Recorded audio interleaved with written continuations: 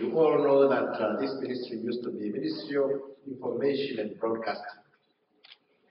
The trend in the world is that uh, people are moving towards ICT,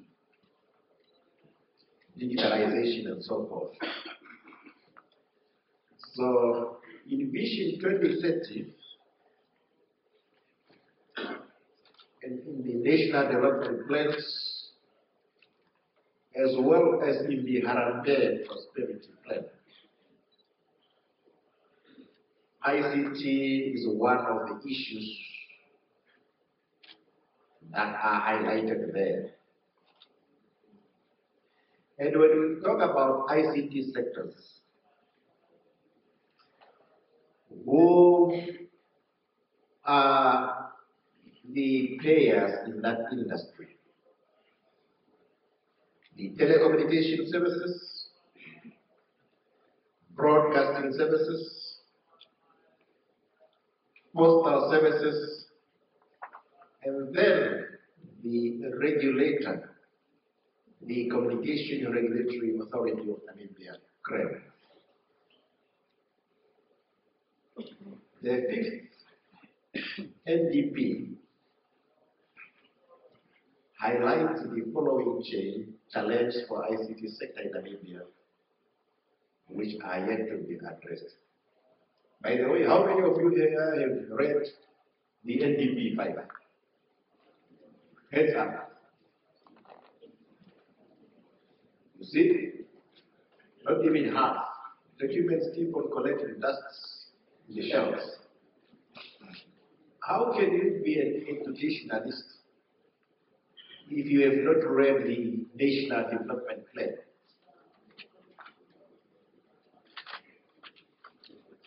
So, issues addressed there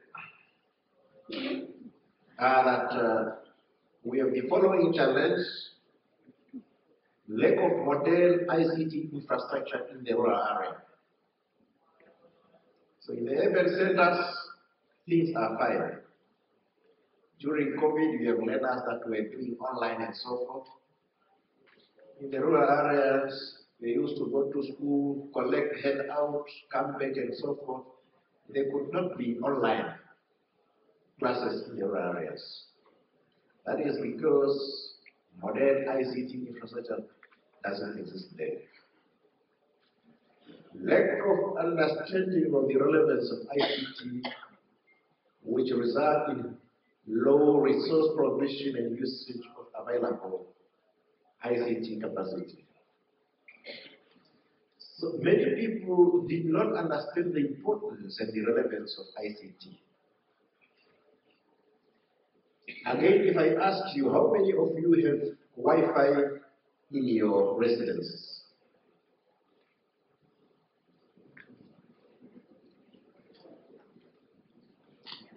Okay, at least many of you here. You see, when you drive around even here in Windhoek, you see, these smartphones can pick up Wi-Fi. You will be surprised you can start from the end up, one end of the street up to the other without picking up any Wi-Fi, meaning there are no Wi-Fi in those residential areas that you are driving. But in some countries, almost every second house, there will be a Wi-Fi. Because people realize the importance of ICT, they know that when children come from school, they need to do homework, they need to have access to ICT. But most of the people here, they depend on data. I'm going to buy data for WhatsApp and other things, but they will not be in a position to install Wi-Fi in their places to ensure that their children have access. Limited internet access at public facilities in rural areas. But even in urban areas,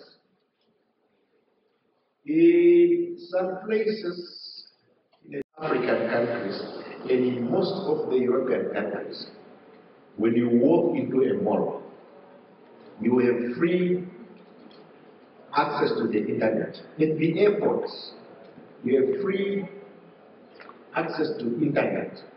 Here you go to our airport, no free access to the internet. You go into the mall, no free access. So that is in the urban area. Whereas now, in the rural area, there is nothing. In those areas, there is no public access to the internet. Because even the towers sometimes do not really easily reach those rural areas. Also, insufficient electricity in the rural area. Not all places are connected to the national grid. Have areas that are still not connected to the national grid and do not even have the solar power system in place. So these are the challenges that have been identified. A low capacity and expensive telecommunications network. Those that have access to the internet sometimes it is very slow and actually is also unaffordable to buy this data time and again becomes unaffordable and so forth. Poor quality of service, it talks, I talked about that when I said the speed is very low and so forth. Inadequate capacity, that is now human and financial resources to implement projects that may already have been formulated high import taxes on ICT equipment, and high fluctuations in exchange rates which further push the cost of imported and equipment, imported equipment higher and this impact is impacting affordability. You see, we have a base, what we call basic goods that attract low tax, and we have what is considered to be luxury that attracts high prices. Unfortunately, most of the ICT equipment fall under the category of luxury items. And I believe the finance minister really needs to have a look at this because IT is now becoming a basic necessity. Everyone would need a smartphone in order to communicate. Particularly school children need these tablets so they can no longer be taxed high. Now, the higher the tax, the higher the price. Because if an item costs 1,000 and you tax it 20%, it becomes 1,400. If you only tax it 10%, it becomes 1,200. Now, the higher the tax, the higher the cost, the unaffordability the item become. And the high unit cost of rolling out in vast geographical area. You see, Namibia, particularly in the rural area, you have a special distribution of population whereby people stay from each other within a distance of two to three kilometers. And to install networks in those areas, it is quite costly. What we have done so far, we have a sound and responsive ICT legislation and regulatory framework in place. I thought we already have grant in place. We introduced the 4G long-term evolution technologies. Now we are anticipating to have maybe the 5G. Just last week I was with the Minister of Digitalization uh, from South Africa. And South Africa have long implemented the 5G. And invested, we have invested heavily in the modernization and expansion of telecommunications. A number of towers are being installed in various areas, especially in the urban areas, we are still lagging behind. And Namibia is connected to the what's the West Africa cable system.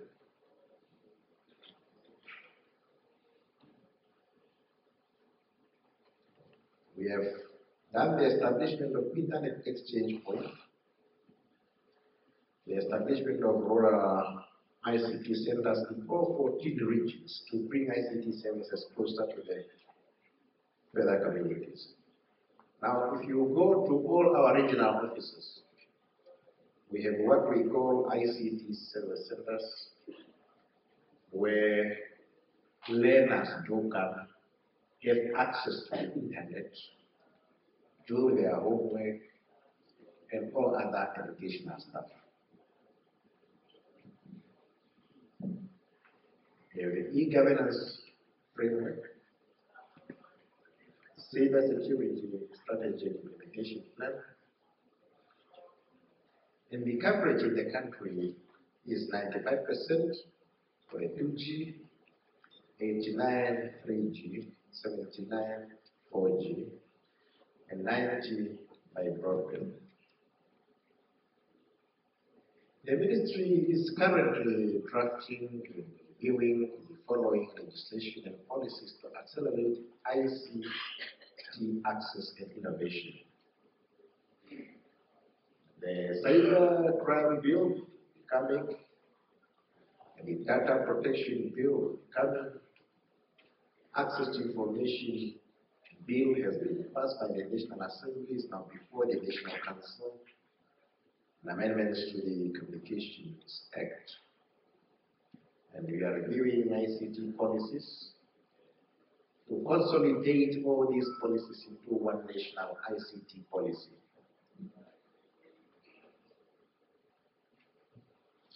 Now, fundamentals for increased innovation and access to ICTs.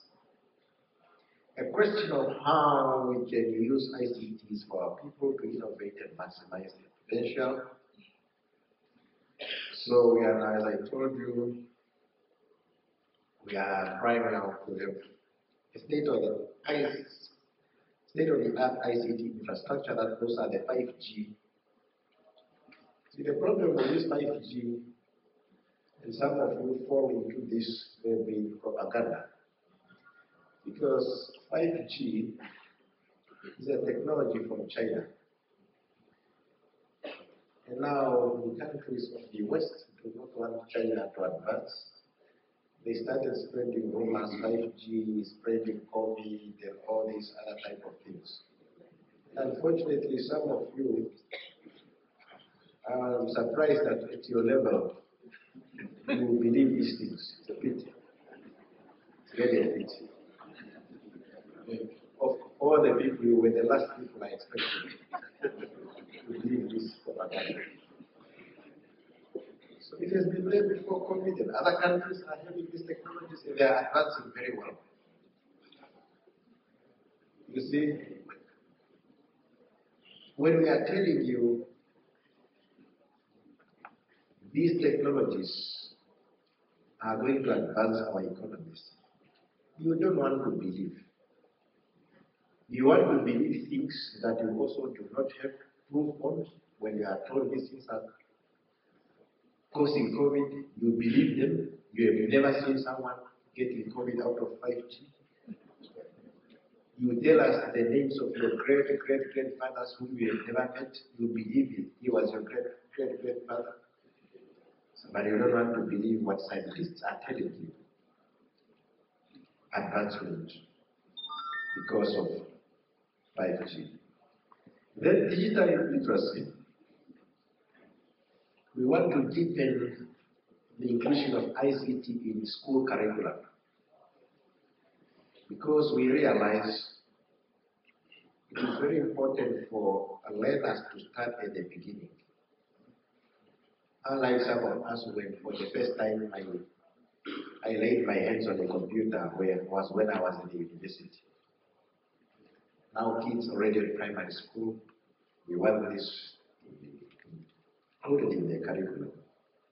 And development of parallel digital literacy programs across all, all these transactions people are now doing. You see, in a few years, you will be able to order your goods from Pick n Pay, you pay for delivery just from the comfort of your lounge.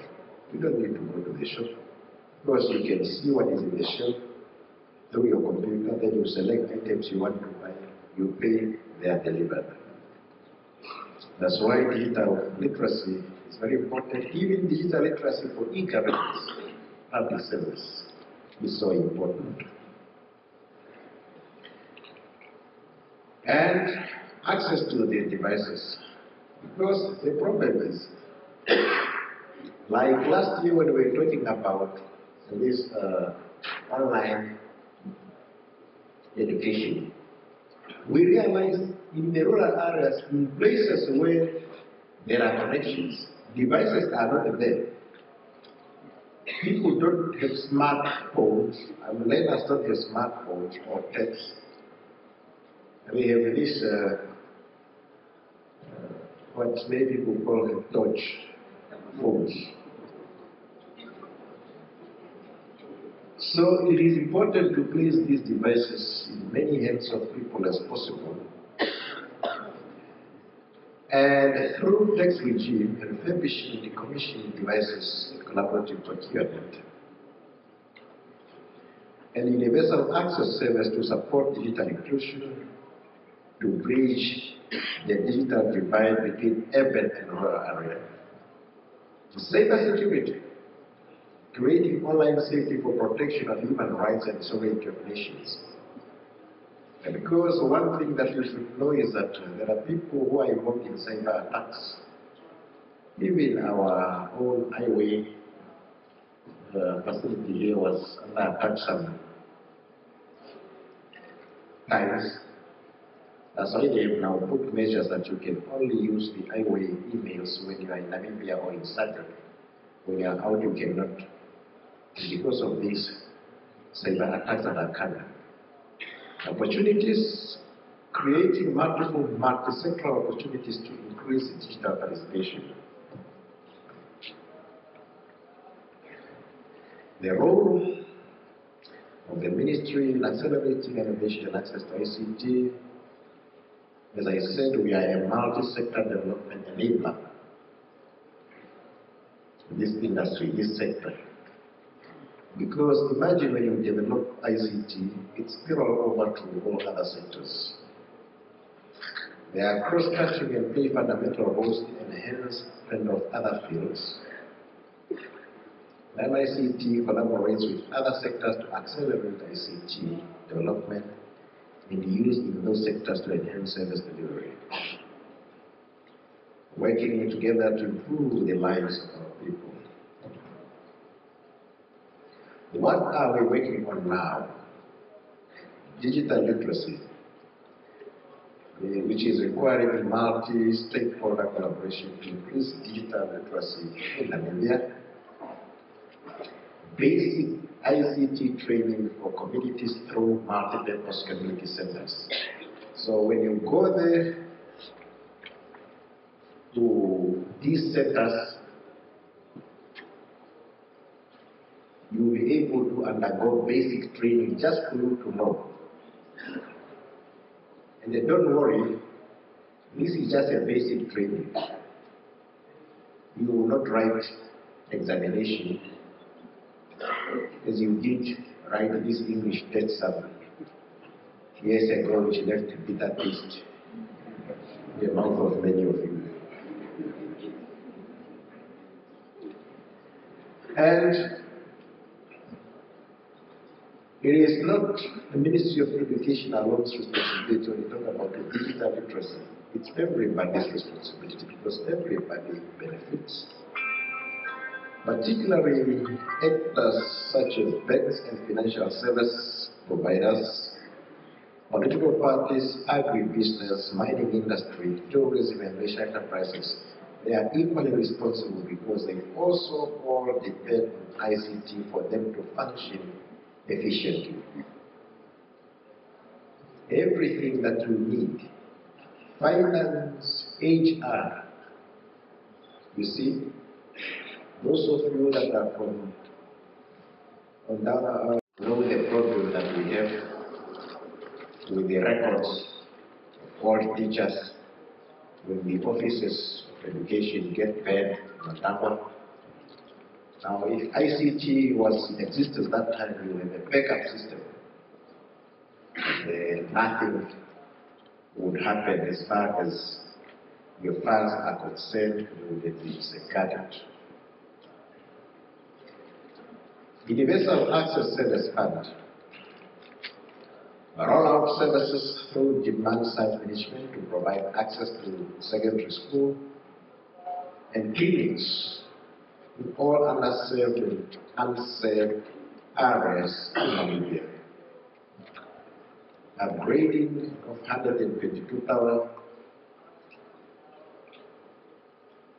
to 4G and the building of an additional 36 additional towers in the rural areas.